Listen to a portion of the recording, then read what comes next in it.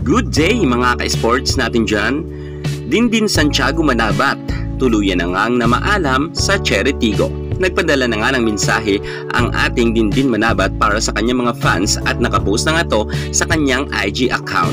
Tuluyan na ngang dilisanin niya ang kanyang team Bagamat marami ng team na napasukan rin itong si Dindin Santiago Manabat pero tumagal nga si Dindin sa Cheritigo at inabot nga siya dito ng anim na taon. Pero ganun talaga mga ka-sports, sa ngayon ay nagdesisyon na si Dindin para lisanin nga ang kanyang napakamahal na team. Alamin ang buong detalye. Kung bago ka sa aking YouTube channel at ngayon ka pa na napadpad, huwag kalimutan i-like, i-share ang ating video at mag-subscribe.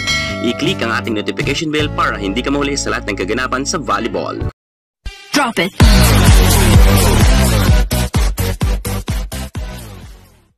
Six years sa Cheritigo, si Dindin Santiago.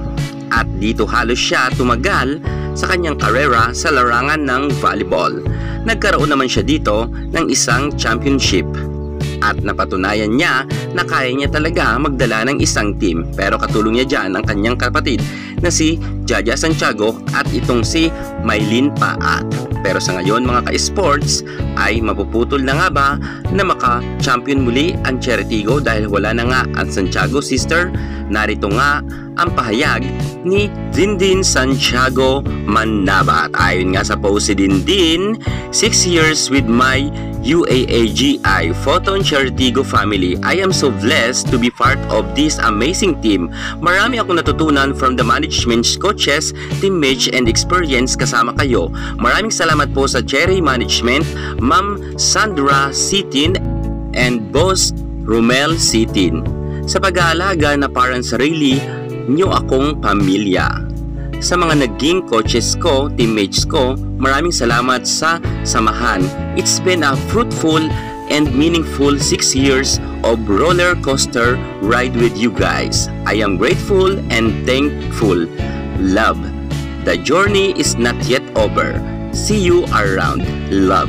Yan ang kanyang pahayag. Samantalang, hati naman ngayon ang opinyon ng mga netizens. Sinasabi nila na sana ay magpahinga na muna si Dindin Santiago Manabat dahil ito ay galing pa nga sa injury.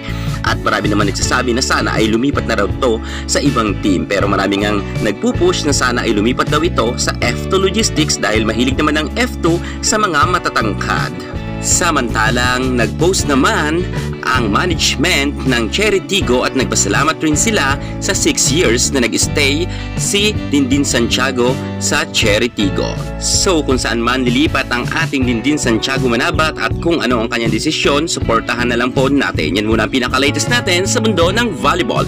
At para hindi ka mahuli sa lahat ng issue, subscribe na.